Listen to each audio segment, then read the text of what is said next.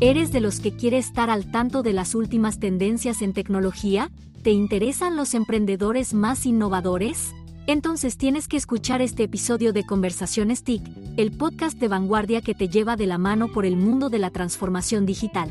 Quédate hasta el final, seguro algo de lo que escuches te va a servir.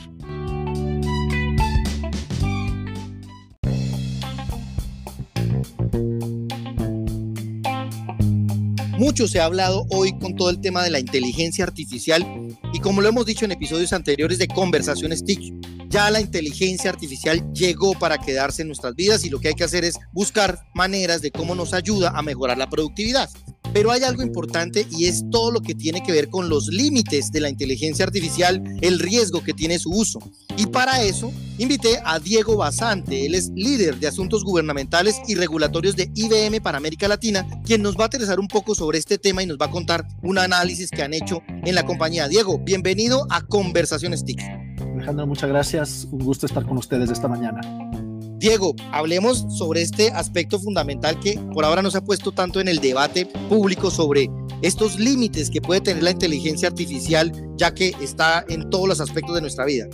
Bueno, sí, la inteligencia artificial es el, tema de moda, ¿no es cierto? Es algo que estamos intentando, estamos intentando entender a nivel de sociedad, es algo que los reguladores, los congresos, los gobiernos también están intentando entender a nivel global. Y pues eh, desde IBM estamos trabajando en estos temas no recién, no desde que empezó la moda, sino ya desde, desde hace 70 años, ¿no es cierto? O sea, sí, claro, claro. Bueno, John McCarthy definió o acuñó el término inteligencia artificial en, en 1956 y pues a partir de ese momento eh, IBM ha sido una de las empresas que más ha trabajado en esto. Pero sí es verdad, sí es verdad que en, los últimos tiempos, especialmente con la aparición de modelos fundacionales, eh, modelos neurolingüísticos y demás, pues sí ha tomado un giro esta, esta tecnología que pues, demanda que como sociedad estemos preparados para, para enfrentarnos a ella de manera que eh, podamos aprovecharla en, en, toda la capacidad que nos da pero que al mismo tiempo también eh, podamos mitigar o prevenir sus riesgos. Entonces, de eso se trata, de encontrar el balance entre eh, pues cómo aprovechamos la tecnología sin que nos haga daño. Claro, eh, Diego, pero ¿cuáles son esos riesgos que se pueden tener en, en, la utilización y qué tan viable es trabajar en una regulación de la inteligencia artificial? Claro, mira, yo clasificaría los riesgos en, dos pilares fundamentales. Eh, riesgos de entrada al sistema de inteligencia artificial y, riesgos en la salida de un sistema de inteligencia artificial. Eh, y pues en este modelo hay además los riesgos tradicionales y los riesgos nuevos que estamos viendo con estos eh, nuevos sistemas. Tradicionalmente, los riesgos de, entrada en un sistema de inteligencia artificial han sido, por ejemplo, la privacidad de los datos, ¿cierto? O sea, cuán protegidos están los datos de, de, los individuos que, ingresan a un sistema, porque pues como quienes nos escuchan sabrán, los sistemas de inteligencia artificial se nutren con, eh, con una ingesta de datos. Entonces esos datos tienen que estar protegidos. Entonces ahí hay un riesgo de entrada, la privacidad de esos datos. Eso ha sido uno de los riesgos tradicionales. Además de eso, también la propiedad intelectual de esos datos, eh, los términos de uso dentro de, eh, lo, de, eso, de ese esquema tradicional de, de, de, los riesgos que te mencionaba, a la salida también hay algunos riesgos, como por ejemplo, bueno, de, de quién es el contenido que se produce, quiénes son los propietarios. ¿Quiénes son los dueños de ese contenido? Por supuesto. Así es, eh, problemas que pueden surgir con terceros, etcétera. Ahora, esto pues quienes, los abogados que se han dedicado a estos temas y las empresas de tecnología, de alguna forma ya los tenían identificados. Ahora con la aparición de, estos sistemas mucho más sofisticados y modelos fundacionales, hay otro tipo de riesgo, Alejandro. Por ejemplo, en, la entrada tenemos un riesgo de, transparencia de los datos, ¿no es cierto? Un, un tema de también lo que se conoce como sesgo representacional eso significa que eh, pues yo tengo que alimentar un sistema de inteligencia artificial con datos que no me supongan un sesgo a las personas. Te pongo un ejemplo concreto. Si tengo un sistema de inteligencia artificial que me ayuda a filtrar eh, hojas de vida, por ejemplo, en una empresa para, para contratar gente, eh, y que yo recibo miles de hojas de vida y pues necesito un sistema que me ayude a filtrarlos bien, yo, yo puedo entrenar un sistema de inteligencia artificial para que me arroje los, los cinco o diez mejores currículums que yo encuentro. Pero resulta que si yo alimenté a ese sistema de inteligencia artificial solamente con hojas de vida de hombres, pues el sistema en su salida va a tener también ese sesgo, ¿no es cierto? Ese es un sesgo representacional, de manera que tenemos que cuidarnos para que los datos de ingesta a la entrada de un sistema, pues no caigan en ese tipo de sesgos. Ese es un riesgo bastante importante. Eh, también el, tipo de entrenamiento que se les da a estos sistemas, porque fundamentalmente lo que los modelos fundacionales permiten hacer es eso, entrenar a los sistemas para, para, poder realizar tareas. Entonces, eh, lejos de que esto sea una caja negra, lo ideal es que pues, haya una transparencia para que la gente pues, pueda entender mejor de qué se trata. Y a la salida, pues también tenemos estos riesgos nuevos, que son pues, las alucinaciones que hemos visto en algunos sistemas, ¿no es cierto?, eh, de inteligencia artificial, que te presenta información de manera verosímil, que, que es totalmente creíble, que tú dices, pues sí, tiene sentido lo que me está diciendo el sistema, pero resulta que es completamente falso. Eh, entonces, pues esos son algunos de los riesgos nuevos o más modernos que podemos encontrar en estos. Por supuesto, Diego. Y, y en el tema, listo, ya, ya identificamos los riesgos, pero en el tema de los, la regulación, ¿cómo podemos regular o si vale la pena o si hay que hacerlo? Ya teniendo los riesgos, por supuesto que eso impacta toda la vida de los seres humanos. Eh, ¿Toca avanzar en regulación? Sí, toca avanzar en regulación, definitivamente, pero, eh, a ver, tú, tú, le estás haciendo esta pregunta a alguien que trabaja en IBM. y que viene de, de, una gran plataforma mundial también. Yo también conozco un poco de, claro, o sea, a tu historia. a lo que voy es que IBM pues, es una empresa que, que se remonta, que remonta sus orígenes a más de un siglo. ¿cierto? Tenemos 112 años, en Colombia tenemos 86 años. Entonces, tradicionalmente en IBM, pues somos una empresa que, que tiene una visión más holística de la tecnología, eh, que venimos trabajando y administrando y cuidando los datos de nuestros clientes por, más de 100 años. Entonces, eh, este tipo de, de reto frente a la regulación de una nueva tecnología, nosotros lo hemos vivido pues en el último siglo. Por supuesto. Y la transformación que han tenido que trabajar y, vivir y sufrir. Claro. Te pongo eso como contexto para ahora sí contestarte a tu pregunta de, bueno, ¿qué es una buena regulación para IBM? ¿Qué es una regulación correcta eh, frente a estas nuevas eh, tecnologías? Yo lo resumiría en cuatro puntos fundamentales. En primer lugar, una buena regulación de inteligencia artificial tiene que ser una regulación flexible, que, se pueda adaptar en el futuro, especialmente porque estamos en una etapa muy inicial del desarrollo de estas tecnologías y mal haríamos en ponernos una camisa de fuerza regulatoria en estos momentos que impida un desarrollo futuro de la tecnología. Entonces, eso es lo primero. O sea, quienes, quienes están estudiando estos temas, quienes, quienes en su momento van a escribir las leyes, yo creo que deben tener presente que tiene que ser flexible y que tiene que ser una regulación que permita esa flexibilidad. ¿En qué no podemos tener flexibilidad? ¿En qué tenemos que ser muy estrictos? ¿En dónde tenemos que buscar la permanencia? Pues en los principios, y de eso podemos hablar más adelante, pero son los principios fundamentales, los valores que tenemos como sociedad, aquellos que deben permanecer inmutables, ¿no es cierto? El respeto a la vida, el respeto a la privacidad de las personas, el respeto a la dignidad humana. La regulación tiene que buscar que esos principios y valores permanezcan en el tiempo pero que la tecnología sí, esa pueda desarrollarse, ¿no? que, que, que, pueda eh, permitir mayor creatividad, mayor productividad, etc. Entonces, Así primer punto, flexibilidad y capacidad de adaptarse a los nuevos desarrollos.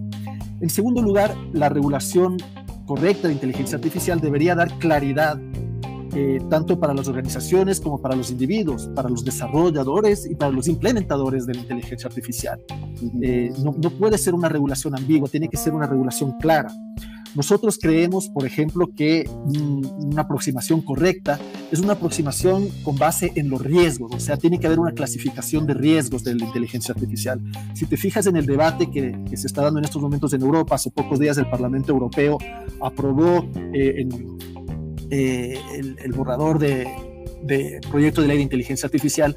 Y algo rescatable, creo yo, de, ese, de esa legislación es que precisamente hay esta categorización por riesgo, ¿no es cierto? En Europa hablan, De cuatro, hablan de cuatro categorías.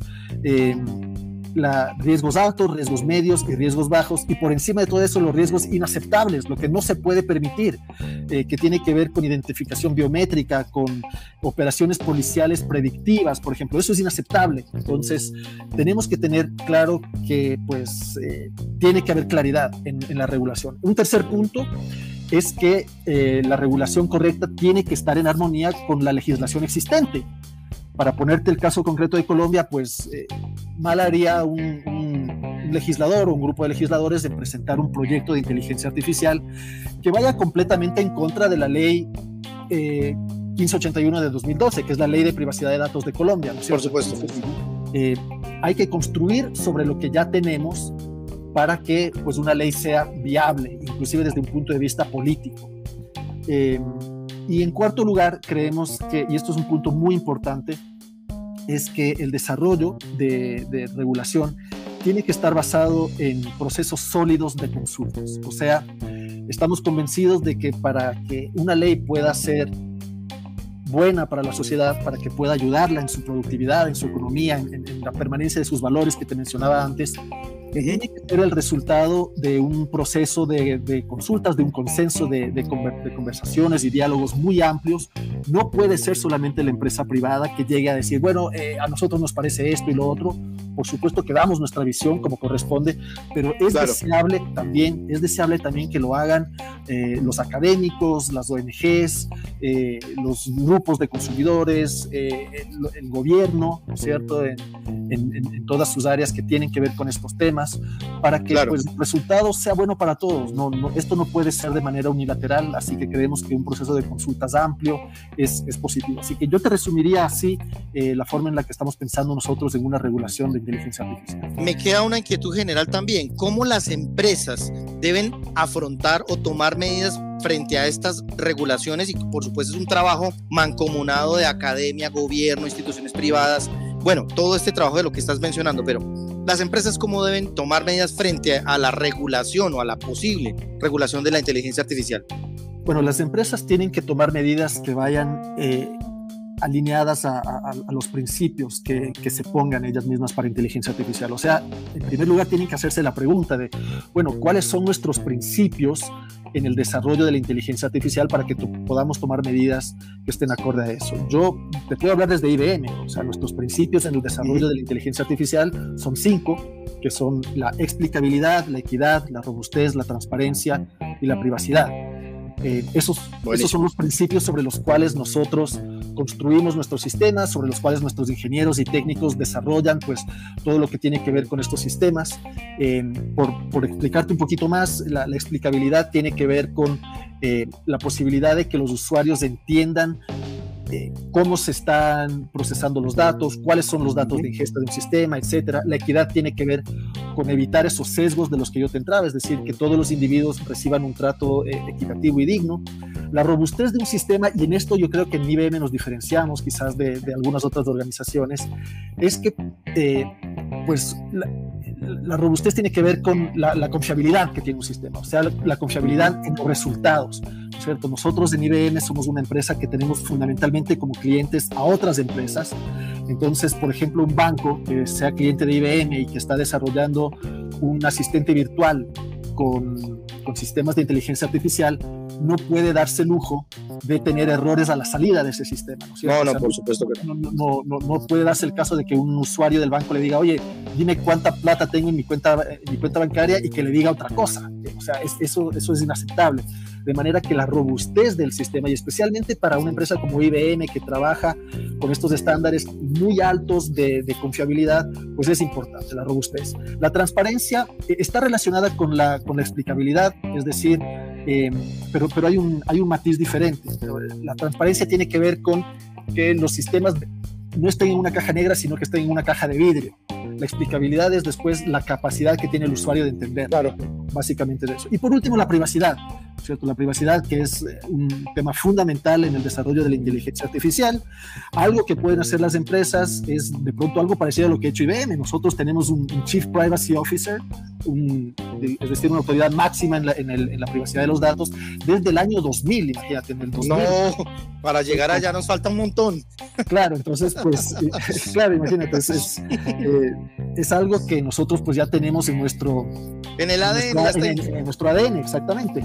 Entonces, pues hay que tomar esas medidas, hay que tomar, eh, hay que dedicarle energía, hay que dedicarle tiempo y hay que dedicarle plata. O sea, ahí es donde no, por supuesto. se demuestra esto. Pues Diego Basante, líder de asuntos gubernamentales y regulatorios de IBM, Como siempre, muchísimas gracias por estas apreciaciones y veo que tienen muy claro cómo van a trabajar y cómo lo están haciendo todo el manejo de la inteligencia artificial. Gracias, Diego, por pasar por acá por Conversaciones TIC, el podcast de Vanguardia. Muchas gracias. Vanguardia Podcast.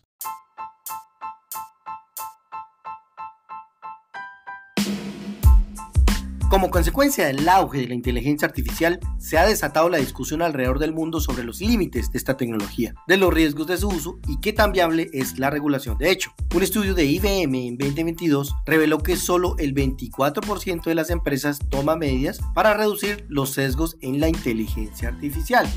Muy importante estos datos para las compañías hoy en día. Recuerda que este podcast puedes escucharlo donde quieras y cuando quieras porque nosotros estamos hablando donde todo el mundo escucha.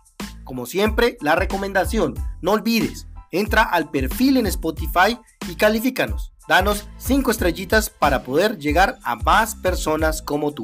Yo soy Alejandro Guzmán, periodista y subgerente de innovación de vanguardia, y esto es Conversaciones TIC. Nos vemos en el próximo episodio. Chao, chao.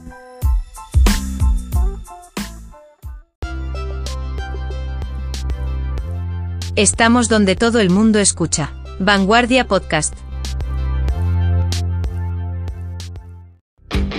Expertos en tecnología, innovación, empresarios y sus historias de emprendimiento con las TIC. Esto es Conversaciones TIC.